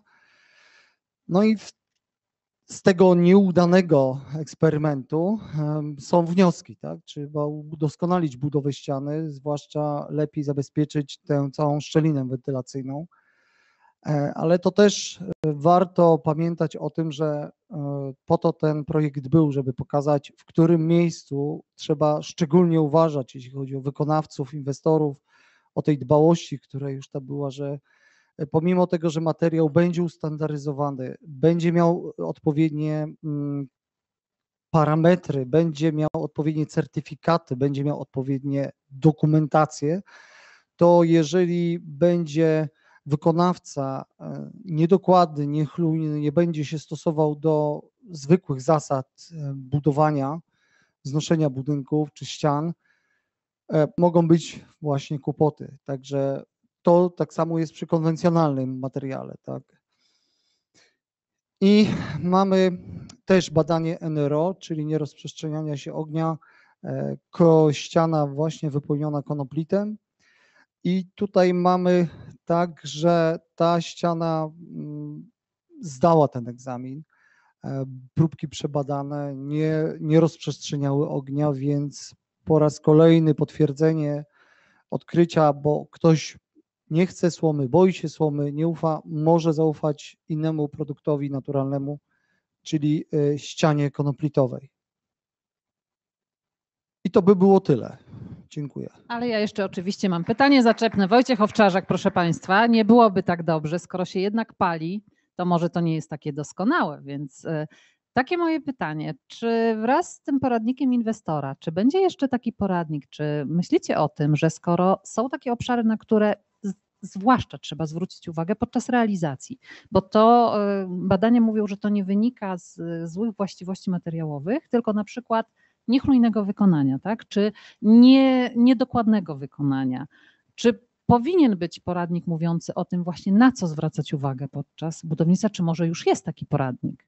E, Dziękuję za pytanie. Jest wypracowywany osobny produkt w, na, w ramach naszego nawet e, projektu, czyli STEP, e, tłumacz, podjęliśmy się tłumaczenia takiego międzynarodowego certyfikatu o budowaniu z kostek słomy, ale od strony praktycznej, stworzonego przez e, rzemieślników, wykonawców, producentów, takiego dużego konsorcjum międzynarodowego, które wypracowało to w programie badawczym, e, też dofinansowywanym, e, podobnie jakby dofinansowywanym z Unii Europejskiej. I w programie STEP mamy bardzo dużo założeń właśnie wykonawczych, takich dla majstra, można tak to powiedzieć, dla fachowców i tam mamy o, o budowaniu w różnych technikach, jak powinny być wykonywane detale, łącznie z rysunkami, łącznie z tym, że z, nie tylko z rysunkami, ale też z przykładowymi zdjęciami z realizacji, z różnego rodzaju warsztatów, bo to było też w metodzie warsztatowej wypracowywane różne techniki z różnych krajów. Więc takie coś też będzie w ramach naszego projektu zaprezentowywane, tylko nie w tym rozdziale. E, Ale oczywiście kolejnym etapem jest to, że mm, dobrze by było wypracować w szerszym jakby też gronie taki, taki sprawdzacz, czyli coś, co byłoby serią warsztatów, ponieważ w Na praktyce zasadzie najlepiej- sprawdzam, czy Tak. to rzeczywiście zadziałało. Tak. No dobrze, ale to skoro mamy coś takiego, to teraz znowu mamy osobę, która stwierdziła, OK, zrobię sobie ocieplenie, ale czy to nie spowoduje ze słomy na przykład, czy to nie spowoduje, że palność mojego budynku się zwiększy? Pokażemy te wyniki. E, Także y, tutaj jest dosyć, y, to znowu jest budowanie świadomości, ponieważ mm, mamy taki przykład, którym operują praktycy y, prowadzący warsztaty w całej Europie i na świecie zresztą też, że budowa kostki słomy i słomy jest jak budowa książki telefonicznej, tak? Czyli jeżeli wyrwiemy jedną kartkę e, z książki telefonicznej, łatwo ją spalimy, ale żeby już spalić książkę telefoniczną od rantu, to i nie spalimy, bo tam po prostu brakuje tlenu, żeby ten tlen dostarczył mocy dla ognia. Także my mamy taki prosty przykład i wtedy ktoś, aha, no rzeczywiście. Tak, proszę Państwa, bo pojawiają się takie głosy, że przecież słoma się tak świetnie pali, ale właśnie jak jest tak bardzo sprasowana, to praktycznie nie ma możliwości, żeby ją podpalić. I o takich e, ciekawostkach też, jak zbudować ścianę, czy, e, czy coś się pali, czy nie, to między innymi można się dowiedzieć na warsztatach u Was, więc e, na pewno i podręcznik, i, i warsztaty, ale znowu, jeżeli byłby taki bardzo ktoś nieprzekonany, że z jednej strony coś słyszałem, no nawet tu mnie zachęcają do przeprowadzenia takiej inwestycji.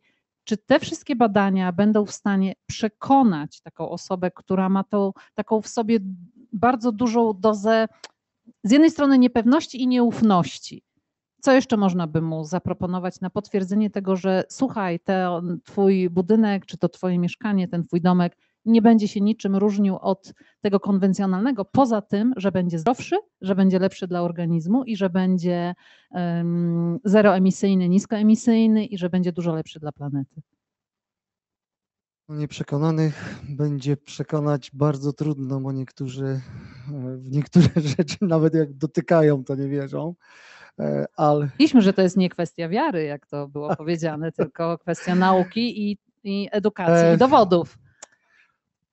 To jest tak, że według mnie to jest powtarzanie, pokazywanie, powtarzanie, pokazywanie. No i świetnie by było, żeby w jakimś serial, serialu mainstreamowym główny bohater przeprowadzał się do domu budowanego z kostek słomy, ale sądzę, że jest to jeszcze Jeszcze chyba przed nami, ale tak. kto powiedział, że to nie jest osiągalne? Proszę Państwa, w 60 sezonie chyba tak, Tak. Wojciech Owczarzak z SBN, pięknie dziękuję. I zapraszam teraz e, pana Pawła Wołejsze, który przedstawi już nam ostatnią prezentację naszej, w naszej części oficjalnej i tutaj e, będzie przedstawiał rekomendacje dotyczące wsparcia rozwoju rynku budownictwa naturalnego w zakresie termomodernizacji i budownictwa mieszkaniowego. Dzień dobry Państwu, dziękuję za e, uwagę i też dziękuję za to, że mogę tu z Wami być. Ja tylko się odniosę do dwóch rzeczy, o których mówił Wojtek. Jestem architektem z uprawnieniami i To, że mamy wynik e, REI 120 dla ściany ze słomy, to jest naprawdę e, duże dla mnie osobiście zaskoczenie, mimo że jestem członkiem stowarzyszenia. Jest to dowód na to, że możemy budować budynki e, ze ścianą oddzielenia pożarowego, które mogą być na przykład domami w, szeregu ustawionymi, co jest bardzo popularnym argumentem w firmach deweloperskich, że na przykład ta ściana konkretna musiałaby być murowana a nie musi być, tylko my musimy jeszcze dalej pracować nad tym, żeby to popularyzować, żeby odpowiednie dokumenty i aprobaty uzyskiwać. E, odnośnie jeszcze tego, co powiedziałeś Wojtek na końcu, e, czyli że w serialu mainstreamowym coś się powinno pojawić, e, to była jedyna taka rekomendacja, która faktycznie mnie rozbawiła, bo ona też spłynęła. Nie, nie, nie widziałeś jej, więc nie rozmawialiśmy o tym. E, natomiast faktycznie te rekomendacje, które miałem przyjemność zbierać, e, co powinno się wydarzyć, żeby rynek materiałów naturalnych się rozwijał. E, I z tym pytaniem, tak naprawdę, kiedy dostałem te rekomendacje, zacząłem się zastanawiać, jak to zrobić. Jaki jest w ogóle cel tego, tak? Dlaczego tak naprawdę to budownictwo powinno być bardziej powszechne? No po pierwsze, różnorodność na świecie jest potrzebna i nawet ci, którzy nie wierzą w to, że dekarbonizacja jest ważna, E, powinni dać zielone światło do tego, żeby była jakaś alternatywa, jakakolwiek, no bo jeżeli jej nie będzie, to, to będzie, um, uważam, niedobrze. Podzieliliśmy raport związany z rekomendacjami na cztery, na cztery różne jakby działy. Pierwszym jest cel, kolejnym jest zebranie rekomendacji od 22 organizacji, E, właściwie jednych z e, największych w Polsce, zaraz o nich powiem. E, następnie są wyniki ogólnodostępnej ankiety, która była szeroko publikowana w różnych źródłach oraz wnioski. 22 organizacje, które właściwie są flagowymi organizacjami w Polsce, były reprezentowane przez jedną z osób z każdej z tych organizacji. I kolejną, mamy grupę roboczą Contech Poland, która e, odpowiada za innowacje, za wdrażanie startupów. Co powinno się wydarzyć, żeby ten rynek materiałów naturalnych oraz zalecenia dla planów e, miejskich adaptacji e, mogły faktycznie się, się, wdrażać z punktu widzenia tych konkretnych organizacji. Hubert Tramer jako przedstawiciel nowego europejskiego Bauhausu, czyli osoba, która zasiada w gremium międzynarodowym, widzi to, co się dzieje e, poza Polską i może trochę świeże, świeżego spojrzenia e, przywieźć. My e, zebraliśmy ponad 13 rekomendacji od każdego z tych reprezentantów, także łącznie mamy około 250 rekomendacji całkowicie w raporcie. Tego jest bardzo dużo. One dotyczą różnych aspektów. Habitat for Humanity, międzynarodowa e, agencja, która akurat tu była reprezentowana przez osobę, która pracuje w sklepie Restor, czyli w sklepie, który e, z drugiego obiegu bierze materiały, też budowlane. E, oni na co dzień spotykają się z różnymi problemami, typu magazynowanie tego, jak takie materiały powinny być chronione, jakie wytyczne w takich sklepach powinny się pojawiać. Polski Związek Firm Deweloperskich, reprezentowany przez Marcina Walewskiego zupełnie inne spojrzenie, czysto biznesowe, tak? Musi się opłacać i jak to zrobić, żeby się opłacało, kto powinien brać tą odpowiedzialność, dlaczego klienci, którzy mają stereotypy wgrane, nie chcą potencjalnie kupować takich mieszkań, ale też dlaczego, dlaczego nie ma takich produktów na rynku, kto powinien pierwszy wdrażać takie inwestycje, żeby przejąć ryzyko na siebie. To są odpowiedzi, które będą w tym raporcie, on będzie do ściągnięcia już pod koniec kwietnia. E, Polskie Stowarzyszenie Budownictwa Ekologicznego PLGBC, oddział w Polsce. Wiktor Kowalski, członek zarządu. E, również świetny głos w dyskusji, który pokazuje e, spojrzenie na to, jak certyfikacja na przykład powinna się delikatnie zmienić, żeby uwzględniała już na etapie koncepcji projektu architektonicznego czy w ogóle inwestycji takie naturalne materiały, żeby one mogły też się zmieniać w czasie, żebyśmy my mogli jako projektanci albo wykonawcy, albo nawet inwestorzy adaptować istniejące projekty albo projekty, które są w trakcie, do tego, żeby te naturalne materiały stosować nie tylko kompleksowo, ale to, co mówili moi przedmówcy, częściowo, wybiórczo, nawet delikatnie aplikując e, subtelne jakieś pomysły. Szkoła Główna Gospodarstwa Wiejskiego e, w Warszawie, gdzie e, jestem akurat również tam na studiach podyplomowych, teraz budownictwo drewniane, cała katedra mykologów, naprawdę dużo dyskusji przeprowadzonych po to, żeby napisać kilka punktów, żeby też ta publikacja nie miała 700 punktów, których prawdopodobnie byłoby ciężko coś wyklarować. Fundacja Brda, która zbiera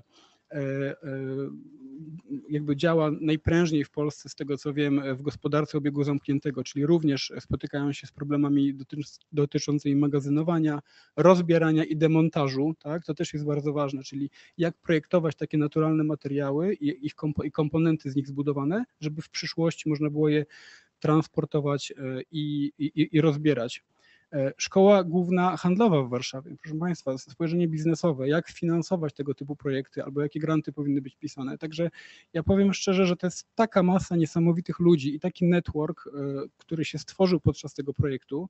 E, Widać, że nie jesteśmy w tym sami. To jest bardzo um, krzepiące serce, ale też e, pokazuje, że mamy mm, nieograniczony potencjał, jeśli chodzi o rozwijanie tego typu projektów dalej, dlatego że każda z tych rekomendacji, y, przynajmniej jedna z nich mogłaby być wdrożona, a to z sukcesem by się przekuło dalej na e, kolejne e, projekty albo produkty, albo właśnie zmianę jakichś przyzwyczajeń.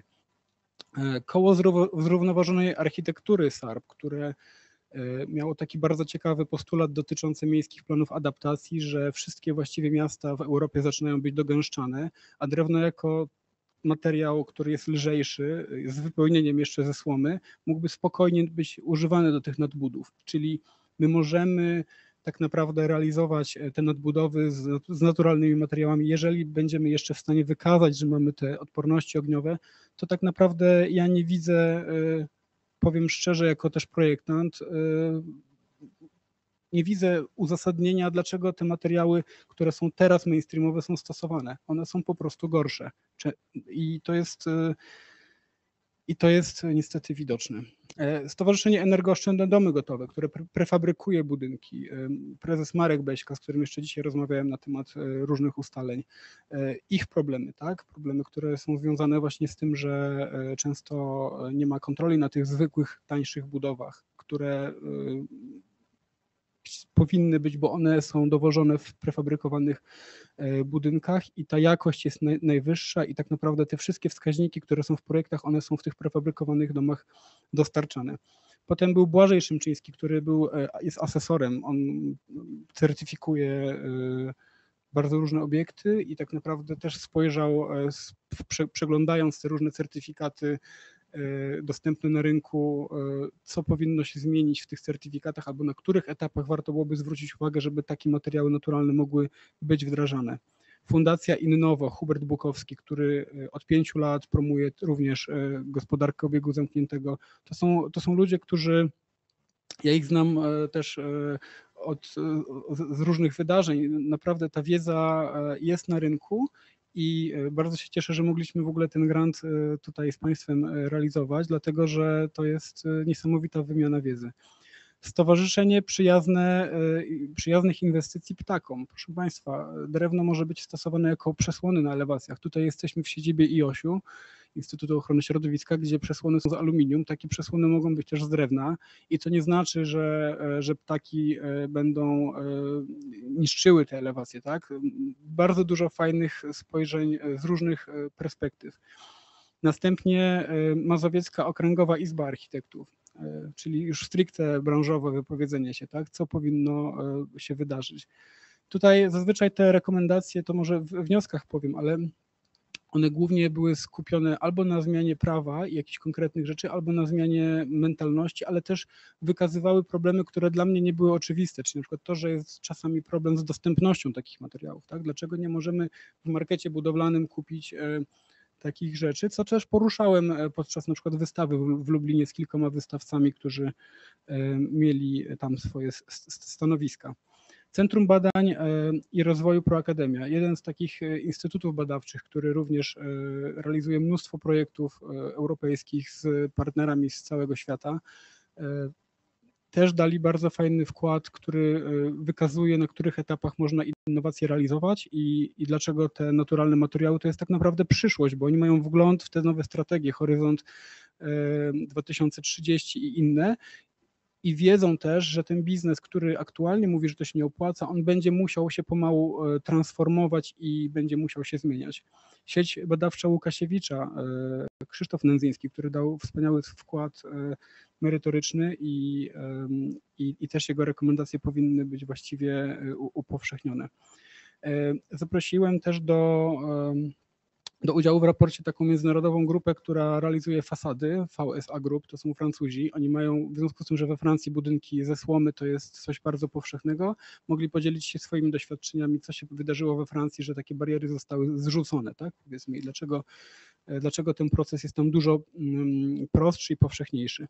Stowarzyszenie Remediacji Terenów Zanieczyszczonych, czyli e, Sylwia Janiszewska, która dała informację o tym, co z ziemią, którą mamy z wykopu, też może być materiałem budowlanym naturalnym do na przykład e, kładzenia stropów, e, w sensie do, do realizacji zie- zie- zielonych dachów i innych rzeczy.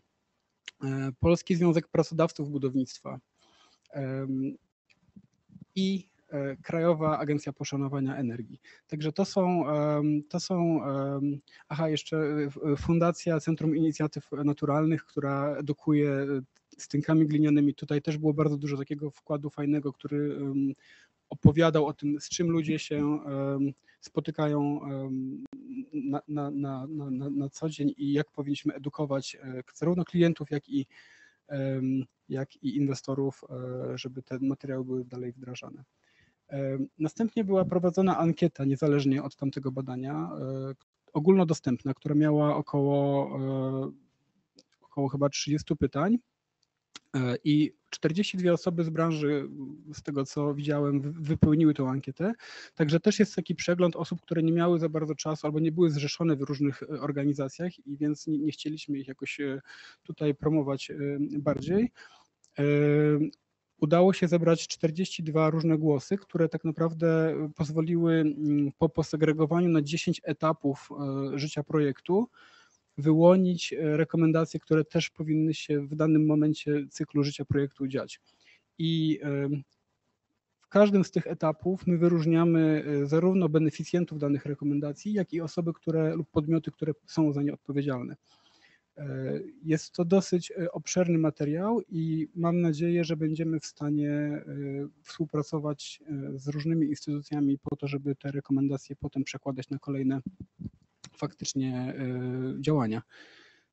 To są te etapy, które, które mamy w projekcie, dlatego że wierzymy w to, że ten materiał naturalny może w cyrkularny sposób wrócić do środowiska. E, Aktualnie ustawa o odpadach e, generalnie nie pozwala na takie e, rzeczy, natomiast jedną właśnie z rekomendacji było to, żeby zmienić załączniki lub konkretne rozporządzenia, żeby te materiały, które nie mają faktycznie domieszek materiałów przetworzonych, mogły być kompostowalne. Więc jesteśmy dopiero na początku drogi. Jestem bardzo wdzięczny, że mogło się to wydarzyć i tak naprawdę teraz będziemy e, pewnie w stowarzyszeniu pracować nad pog- pogłębioną analizą prawną e, oraz prawdopodobnie będziemy dążyć do faktycznego wdrażania zmian e, w tym sektorze budowlanym. Bardzo dziękuję. Czekaj, poczekaj. Bez pytania się nie obejdzie. Przyjemnością. E, Proszę Państwa, oczywiście badania dotyczące rekomendacji były bardzo ważne, żeby z jednej strony poznać rynek, e, jak się zapatrują na to, co się dzieje i co jest złego, a co jest dobrego, a co powinno być rozwijane, ale również właśnie te osoby, e, tak jak Paweł mówiłeś, niezrzeszone, jakie jest ich spojrzenie. Jakbyś miał podsumować dosłownie w trzech punktach te negatywne rzeczy, na które zwracano uwagę, czy Brak świadomości to jest jednym z podstawowych, czy niechęć biznesu, bo przede wszystkim jednak kalkulujemy, e, a później wprowadzamy mm, dodatkowe zmiany. Trzy takie główne punkty z tych, tych negatywów. Y, Ja bym to nazwał barierami, dobrze? Nie, nie negatywami, Oczywiście. bo każda bariera powoduje możliwość y, jej rozwiązania. Y, Pierwszą z barier była e, świadomość, czyli tutaj było wielokrotnie wyróżniane i pokazywane, że y, już na etapie dziecka my mamy mówione te bajki, o których było też wcześniej wspomniane. Dzieci e, chodzą do szkół, które są e, e, właściwie e, murowane i, i, i nie mają alternatywy i tak naprawdę dorastają też w takiej świadomości tego świata przetworzonego, przemysłowego, w którym e, ja też się wychowywałem, tak? Więc e, ciężko jest o alternatywę, jeżeli jej nie znamy. Umówmy się, ja też jestem członkiem stowarzyszenia od trzech lat i tak naprawdę codziennie się uczę bardzo dużo. i to jest, y, mam wrażenie, przygoda, która... Czyli wiedza, edukacja trwa. od dziecka, znowu wprowadzenie od edukacji. dziecka. Kolejna rzecz, to co, to co mnie zaskoczyło, to jest właśnie dostępność tych materiałów, czyli część a- ankieterów mówiła, że nie bardzo wiedzą, gdzie takie materiały nawet można nabyć, czyli jeżeli by, nawet by chciały, bo już by zobaczyły prezentację Wojtka czy Marty, to, to, to nie wiedzą, gdzie mogą to kupić. My w stowarzyszeniu mamy producentów, więc y, dla nas jest to naturalne. Ale czy można znaleźć gdzieś listę takich producentów i miejsc właśnie, gdzie można kupić na przykład farby naturalne czy tynki? Y- Jest, y, jest już taka dostępność? Czy, czy rzeczywiście trzeba się dowiedzieć na przykład w stowarzyszeniu i tylko w taki sposób można to znaleźć? Y, nie jesteśmy sektą, nie trzeba do nas wchodzić. Y, Jest komunikator, y, jest dużo rzeczy, które się dzieją również w tym projekcie, natomiast są, z tego co wiem, są fundacje, które, które dystrybuują takie materiały. Natomiast na pewno, jeżeli ktoś napisze pytanie na info.osbn.pl, to my po prostu odpowiemy, bo takie pytania czasami y, przychodzą i my zawsze chętnie przekierowujemy. Dla nas to jest po prostu przyjemność. Em, Także y, jedną z takich rekomendacji, którą ja osobiście chciałbym jakoś w przyszłości wdrożyć, to jest to, żeby nawet jeżeli w tych standardowych sklepach wielkich y, budowlanych nie ma takiej możliwości, to żeby chociaż była kartka z OSBN-em, że my mamy taką możliwość, tak? Ja myślę, że nie którą, tylko z e, SBN-em już, e, proszę Państwa, no bądźmy e, obiektywni. E, Oczywiście SBN, stowarzyszenie, które jest tutaj partnerem realizacji tego projektu, ale chodzi nam o to, żeby była dostępność do materiałów naturalnych, które, e, które są i które pozwalają budować w sposób e, naturalny, ale czy w tych barierach e, pojawiała się też bariera taka, że nie mam zaufania do tego budownictwa? Powiem szczerze, że nie. Bardziej, bardziej była bariera cenowa, tak? Że zazwyczaj to faktycznie jest troszkę droższe i jakby ja tego nie porównywałem. To jest teza, która była przez dwie osoby postawiona. Natomiast według mnie to jest znowu związane z e, ilością wykonawców i z dostępnością produktów, ponieważ e, wszystko, co jest na większą skalę produkowane, jest tańsze. No jeżeli mamy, e, jeżeli rolnicy by zaczęli lokalnie produkować kostki słomy, i wiedzieliby w ogóle, że to może być na to popyt, tak, że to jest kolejna gałąź ich e, potencjalnego zysku, to to by się zaczęło dziać, więc wtedy ten produkt byłby tańszy, bardziej dostępny. I myślę, że to jest kolejna e, bardzo ważna rekomendacja. No właśnie, że wchodzimy w tak zwany łańcuch dostaw, bo proszę Państwa, przecież to, o czym my mówimy, budownictwo naturalne, pozyskanie materiałów, ale właśnie gospodarka obiegu zamkniętego, to również są dostawcy, dostawcy lokalni, dostawcy, którzy wiedzą, komu mogą dany materiał u siebie odpadł, ale dla innej e, organizacji, innej firmy, innej działalności to będzie produkt bardzo, bardzo istotny, czyli budowanie lokalnego łańcucha dostaw, czyli znowu cofamy się do edukacji szeroko pojętej, żeby ci, którzy mają problemy ze zbyciem słomy, gdzieś tam magazynują, ona niszczeje, żeby wiedzieli, że mają lokalne firmy, które zajmują się budownictwem naturalnym i mogą być naturalnymi odbiorcami tego ich odpadu, który jest de facto produktem, tak? Więc e, chodzi o to, żeby ta edukacja była znowu na każdym poziomie. My zapomnieliśmy jako środowisko, że te materiały naturalne mogą być stosowane. Tak? Mówię tutaj ogólnie o, o architektach, o inwestorach. Y, W ramach tej nowej fali renowacji, która idzie i to, o czym mówili moi poprzednicy, że mamy możliwość termomodernizowania istniejącego zasobu mieszkaniowego, na przykład słomą, uważam, że to jest, y, że to jest jedna z niewielu szans, która może wyrównać y, szansę po prostu na docieplenie takich budynków, tak? Dlatego, że e, te koszty będą niewspółmierne. Nie, ja mam- niewspółmiernie ni- niższe, jeżeli faktycznie metodą gospodarczą ktoś by próbował to robić, a my jako OSBN zawsze chętnie pomożemy. Ja mam jeszcze takie pytanie, czy pojawiały się bariery świadomościowe, że e, konopia? Źle mi się kojarzy, czy na pewno ja chcę mieć postawione e, tutaj bloczki konopne, czy, czy coś takiego też, też się pojawiało? Nie, nie. Myślę, że jak ktoś już wypełniał ankietę, to albo wiedział, co będzie wypełniał, bo, bo, bo tytuł generalnie to sugerował, także nie spotkałem się z taką barierą, która była prześmiewcza, czy, czy coś, wręcz przeciwnie. Wiem, że te organizacje, które wypowiadały się na temat zadanych im pytań, one faktycznie e, doceniały nasz wkład i cieszyły się, że ten temat jest poruszany. Także feedback z rynku mam zupełnie inny. Y, Natomiast to jest bardzo dużo pracy do zrobienia. Właśnie ta bariera, która polega na świadomym wyborze takiego produktu, po to, żeby mieszkać w takim naturalnym domu.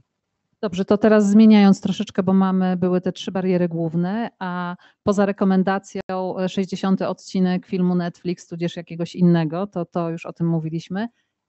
Jaka rekomendacja wyszła taka, mm, ja nie powiem, że główna, taka najważniejsza, ale bardzo często powtarzana, że, że można by ją nazwać jako tą priorytetową do, do zrobienia?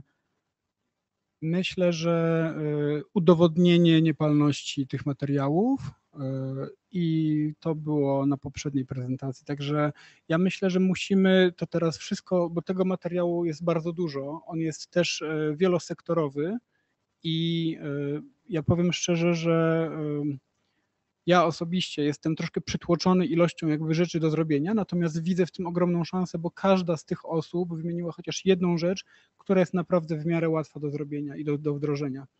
I na tym bym się najpierw skupił wraz z SBN-em, żeby te prostsze rzeczy realizować, żeby zmieniać rynek. Bardzo dziękuję. Ja dziękuję. Miło- Paweł Wołejsza, proszę, proszę Państwa. Proszę Państwa, y, to była nasza ostatnia prezentacja w tej części y, oficjalnej. Y, Myślę, że można w kilku słowach e, podsumować. Mamy świadomość i ta świadomość rośnie, jak ważne jest budownictwo naturalne, jak ważne jest gospodarka obiegu cyrkularnego i jak ważna jest zmiana myślenia, chyba tak to można nazwać, ale z drugiej strony wiemy, jak bardzo dużo pracy jest jeszcze przed nami wszystkimi, żeby zachęcić nie tyle do samego budownictwa naturalnego, oczywiście chodzi o to również, ale o za, takie oswojenie się z tym, że to jest krok, który powinien być realizowany, że to jest budownictwo zdrowe, że to jest budownictwo cenne w takim bardzo ogólnym pojęciu, bo z jednej strony chroni nam planetę, z drugiej strony wpływa na to, że może jest szansa, że klimat będzie się mniej zmieniał i kryzys klimatyczny nie będzie tak galopował. Z trzeciej strony też pokazuje, jak bardzo możemy zagospodarować wszystko, co mamy lokalnie, czyli ograniczamy łańcuchy dostaw te transportowe, wykorzystywanie materiałów e, przywożonych, e, m, brudna tak zwana produkcja, czyli możemy lokalnie budować wielkie biznesy. Proszę Państwa, ja do osób y, tutaj, które nas y, śledzą y, na naszym Facebooku i na naszych mediach społecznościowych, bardzo dziękuję za Państwa poświęcony czas. To było spotkanie, pozwolicie Państwo, że odczytam ten długi tytuł, dekarbonizacja procesów budowlanych, wprowadzenie materiałów neutralnych o zerowym śladzie węglowym, w tym drewna do gospodarki obiegu cyrkularnego w budownictwie, zakończenie projektu realizowanego przez Instytut Ochrony Środowiska, Państwowy Instytut Badawczy i Stowarzyszenie SBN, więc Państwu bardzo dziękuję, ale my tutaj na sali, proszę Państwa, jeszcze zostajemy, y, będziemy kontynuować e, spotkanie tutaj związane z oglądaniem wystawy, ale ponieważ Państwo śledzicie nas online, ja zachęcam, żeby na Facebooku Instytutu Ochrony Środowiska, ale również OSBN-u zobaczyć takie krótkie reportaże zarówno z lub domu, jak i e, drugiego, e, jak i targów z Łodzi, Interdomu, więc tam są takie reportaże, na których Państwo możecie zobaczyć, jak ta nasza wystawa, na której poza warsztatami właśnie pokazywaliśmy, z czego się buduje, można było te materiały dotknąć, można było przeczytać o ich właściwościach, więc zachęcam Państwa do śledzenia, obejrzenia tych filmików, które są dostępne na Facebooku. Jeżeli nam się uda, proszę Państwa, jak będziecie zaglądać na naszą stronę, ściągając poradnik inwestora lub inne materiały, które tam są umieszczone, może również pojawi się tam krótki taki filmik przeprowadzający Państwa przez naszą interaktywną wystawę. Ja nazywam się Barbara Rajkowska. Dziękuję pięknie.